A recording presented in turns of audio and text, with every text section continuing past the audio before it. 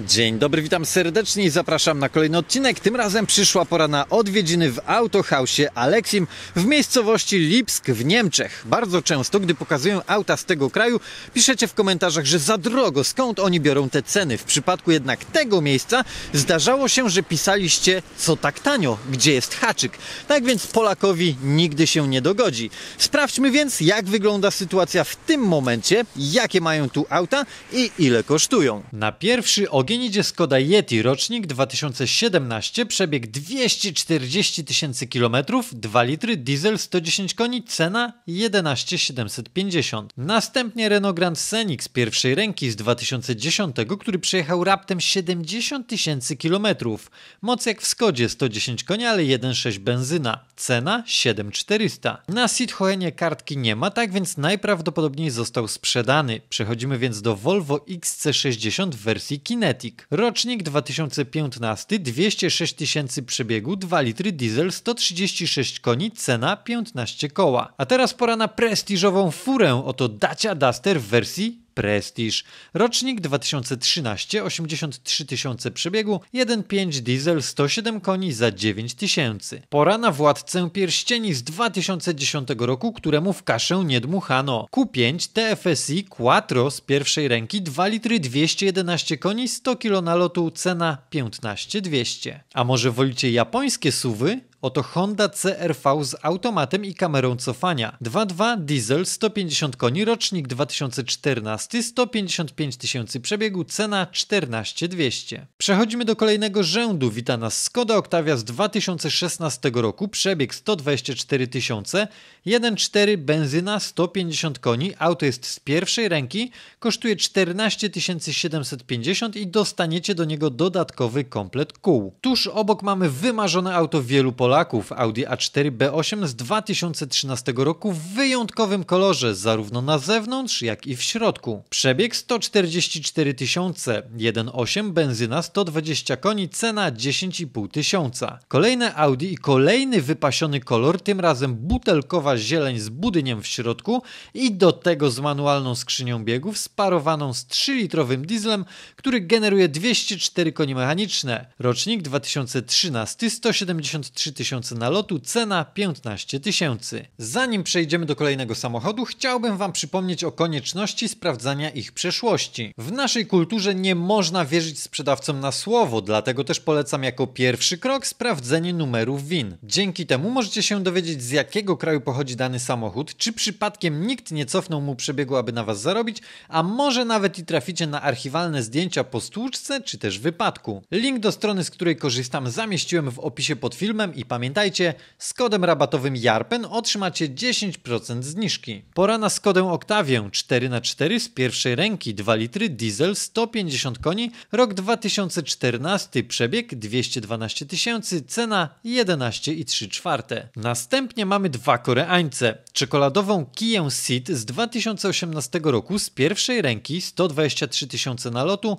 1.4 benzyna 99 koni za 11,800, a dalej Hyundai Hyundai i40 2 litry, benzyna 165 koni, rocznik 2017, 102 tysiące przebiegu, auto jest również z pierwszej ręki, ma podgrzewaną kierownicę i kosztuje 14 koła. Fanom francuskiej motoryzacji spodoba się z pewnością Renault Talisman Kombi z 2016, który jak do tej pory przejechał 160 tysięcy kilometrów. 1.6 diesel, 131 koni, cena 12 250. Tuż obok mamy kolejne francuskie kombi, oto Peugeot Peugeot 508 z 2013. Przebieg 196 tysięcy, 2 litry diesel, 140 koni za 7400. Przechodzimy do kolejnego rzędu i auta od niemieckiego emeryta. Oto Audi A3 Sedan wyprodukowany w 2015 roku z pierwszej ręki z symbolicznym przebiegiem 10 tysięcy kilometrów. Pod maską mamy benzynowy 1.4 o mocy 125 koni. Cena za to cacko 16 tysięcy. Dla osób z mniejszym budżetem stoi tutaj elegancka Skoda Octavia w wersji Elegance z 2008 roku, która ma najechane 78 tysięcy kilometrów. 1.6 benzyna 102 konie 7,5 tysiąca euro. Fanom mniejszych woźdeł spodoba się zapewne ta Corsa z 2009.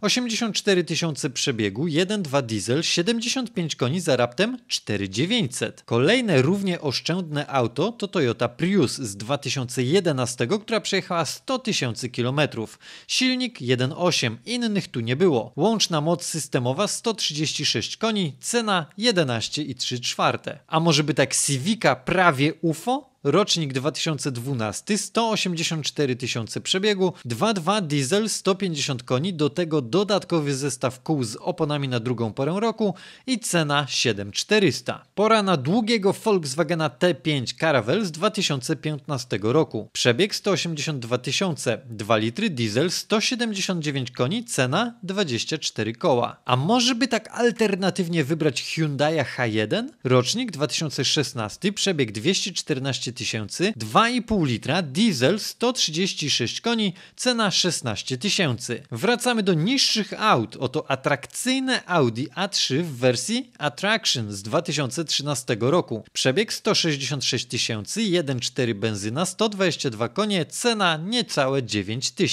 Tuż obok stoi w miarę świeże Polo z 2019 z tempomatem, które przejechało 171 tysięcy kilometrów. Skąd taki wynik w relatywnie młodym aucie? Otóż Tuż pod maską znajduje się silnik wysokoprężny 1.6 80 koni, cena 10250. Dalej Toyota Avensis z 2012 216 tysięcy przebiegu, 1.8 benzyna 147 koni, dwustrefowa klima, tempomat 9000 euro. Pierwsze w tym odcinku BMW to seria 1 z 2015 roku, czyli F20 z przebiegiem 147 tysięcy kilometrów. Silnik 2 litry diesel 116 koni, cena 10,5 tysiąca. Tuż obok Bety stoi Audi A3 z 2013, przebieg podobny 155 tysięcy, 1,4 benzyna, 122 konie, cena 12,250. Pora na miejskiego pędźwiatra z pierwszej ręki, oto Skoda Citigo z 2019 z przebiegiem, uwaga, 120 tysięcy kilometrów. Raptem litr pojemności, benzyna 60 koni, cena 7200. Dalej Audi A3 8P z 2009 z przebiegiem 134 tysiące kilometrów. Pod maską kryje się dwulitrowy diesel generujący 140 koni. Auto ma dwustrefową klimę i kosztuje 7200. Następne auto w szeregu Renault Clio 4 z 2017 z pierwszej ręki z tempomatem z silnikiem 1.1 benzyna 73 konie z przebiegiem 120 tysięcy kilometrów jest wycenione na 6900. Teraz mamy małe déjà vu. Jedna Skoda Citigo już była, pora na drugą.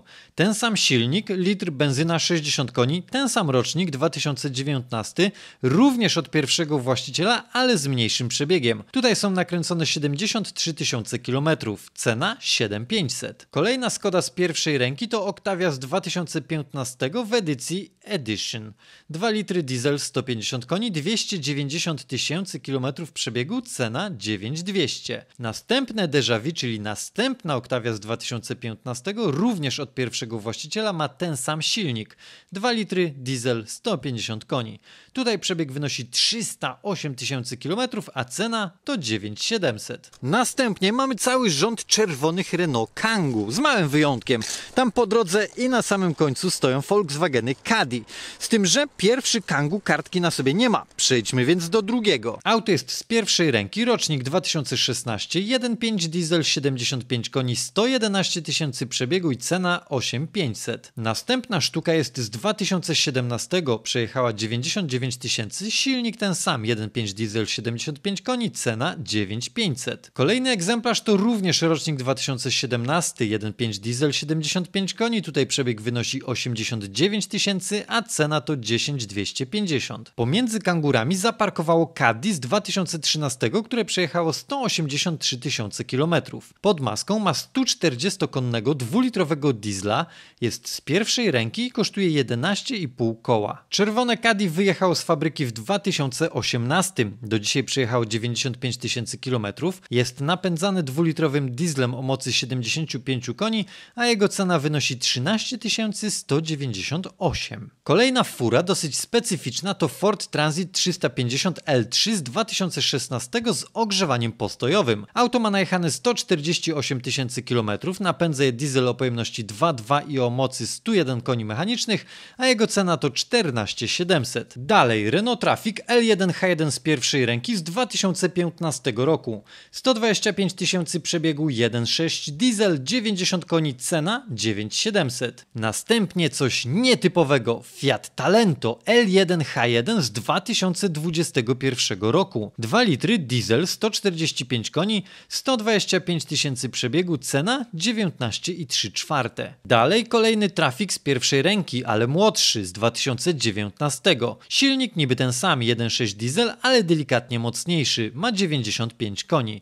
Przebieg 143 tysiące, cena 14 250. Kolejny dostawczak, w dodatku 7-osobowy to Mitsubishi Canter z 2007.